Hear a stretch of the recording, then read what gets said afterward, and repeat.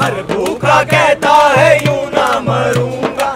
मैं जाके मालिक को नंगा करूँगा। जो हमने अपने महापड़ाव में लिया था, उस महापड़ाव के फैसले को लागू करते हुए पूरे देश के पैमाने पर ये जेल भरो सत्याग्रह, ये तरह तरह के कार्यक्रम लिए जा रहे हैं। साथियों ये 2009 से जो एकता बनी, जो संघर्ष का बिगुल बजा, देश की तमाम केंद्रीय ट्रेड यूनियन संगठन सिर्फ़ जो सत्ता के पिछले हुआ उनको छोड़ के देश का तमाम मजदूर संगठन आज एकजुट होकर सड़कों पर उतर रहा है। पिछले चार साल में रोज़गार घट गया। नए रोज़गार बनाए नहीं, राधा रोज़गार घट गया। लेकिन बेशर्मी के साथ उसका सरकारी दस्तावेजों में कल आर्थिक समीक्षा प्रकाशित किया फिनांस मिनिस्टर ने। प्रेसिडेंट का एड्रेस सारे पेपर में रिपोर्ट हुआ। क्या बोल रहा है? रोज़गार बढ़ रहा है। और हम और ऊंचाई में जाने वाला है। हाँ ज़रूर ऊंचाई में जाने वाला है। किसको लिए? हमारे देश के एक प्रतिशत अमीर लोग हमारे देश के तिहत्तर प्रतिशत संपदा जो मजदूर पैदा करता है, वो अपने दखला में ले लिया। हमने इस प्रोसेस में ये देखा है कि ये सरकार, मोदी सरकार, एनडीए सरकार, या एनडीए सरकार तो मैं नहीं कहूँगा, मोदी खुद अपने आप को मोदी सरकार कहते हैं तो जब मोदी सरकार है, वो जिस तरीके से पब्लिक सेक्टर को तहस नहस करने में लगी हुई है, वो पब्लिक सेक्टर जो हर साल दो लाख करोड़ रुपया डिविडेंड सरकार को देता है वो पब्लिक सेक्टर जो इस सरकार को टैक्स की शक्ल में जाने कितना पैसा देता है, उसके बावजूद भी आप इसको बर्बाद करना चाहते हैं तो अब सवाल पैदा ये होगा, हमसे ये कहा जाता है कि सत्तर साल में कुछ नहीं हुआ। मैं ये नहीं कह रहा सत्तर साल में कुछ हुआ या नहीं हुआ, और बेटर हो सकता था, लेकिन इतना हम आज जानते हैं कि तुम देश के अंदर इनकम पैदा करने के सोर्स ख़त्म कर रहे हो, तुम बेरोज़गार लोगों की संख्या लगातार बढ़ाते चले जा रहे हो, और इसके साथ ही साथ जो सत्तर साल में हुआ, तुम उनको बेचकर, उन पब्लिक सेक्टर को बेच करके अपना सरकार चलाना चाहते हो और ऊपर से गाली देते हो कि पहले सरकारों ने कुछ नहीं किया। जो कुछ भी पहले हुआ, उसमें मज़दूरों का वर्कर्स का, जो हमारे एम्प्लॉयज़ हैं, उनका बहुत बड़ा कंट्रीब्यूशन है। आप उनके कंट्रीब्यूशन को नकारने की कोशिश कर रहे हो। इसीलिए ये बहुत ज़रूरी हो गया है कि जो कर्मचारी या मजदूर वर्ग है, वो अलग अलग खेमे में रहकर के संघर्ष नहीं कर सकता। समय की आवश्यकता ये है कि हम सब एक जॉइंट प्लेटफॉर्म पर आएँ, संघर्ष करें, तभी इस मोदी सरकार को हम पछाड़ सकते हैं। मैं एम टी ब्रॉडबैंड में काम करती थी, लेकिन हमें वहाँ से निकाल दिया गया।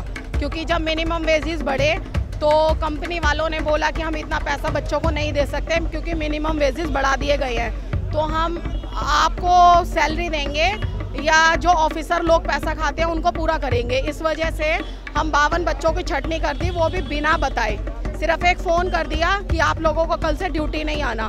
और अब हम आठ महीने से बेरोजगार बैठे हैं। तो मैं मोदी जी से पूछना चाहती हूँ कि आप अपने हर भाषण में और अभी बजट भी आने वाला है तो आप उसमें सब बातों पर ज़ोर देते हैं कि युवाओं को रोज़गार मिलना चाहिए।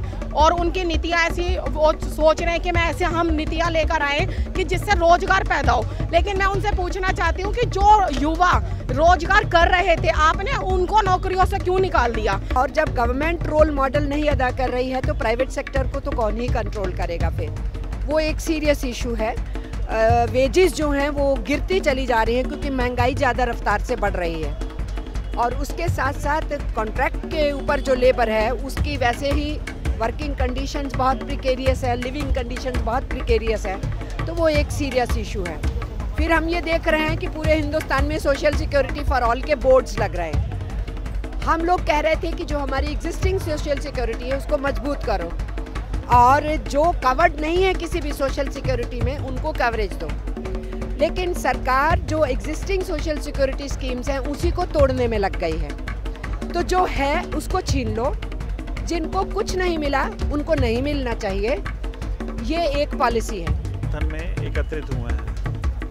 विशेष करके अभी हमारे जो प्रधानमंत्री डावोस स्विट्ज़रलैंड गए थे, वहाँ पर ईज़ ऑफ़ डूइंग बिज़नेस के नाम पर ट्रेड लाइसेंसिंग के अंदर छूट देना लिबरलाइज करना और इंस्पेक्टर राज को ख़त्म करने के विषय पर उन्होंने विशेष ज़ोर दिया। तो हम ये कहना चाहते हैं कि ये जो सरकार की तरफ़ से लाइसेंस देने की प्रक्रिया को सरल किया गया, उदार किया गया मालिकों के लिए और इंस्पेक्टरों का संस्थानों में जाना वर्जित कर दिया गया है ईएसआई इंस्पेक्टर कारखानों में नहीं जा सकते, संस्थानों में नहीं जा सकते प्रोविडेंट फंड के इंस्पेक्टर्स नहीं जा सकते हैं। उसी का परिणाम है कि जो अभी बवाना में घटना हुई 20 तारीख को, वहाँ पर मालिकों की तरफ़ से सरेआम, खुल्लम खुल्ला, घोर उल्लंघन हो रहा है श्रम कानून का और दूसरे जो सुरक्षा के मापदंड हैं। कारखाना अधिनियम को मालिकान मानते नहीं हैं, सेफ्टी प्रोविजंस को मानते नहीं हैं, जो सामाजिक सुरक्षा कर्मचारियों को, मजदूरों को मिलनी चाहिए कार्यस्थल पर, उसकी अनदेखी की जाती है।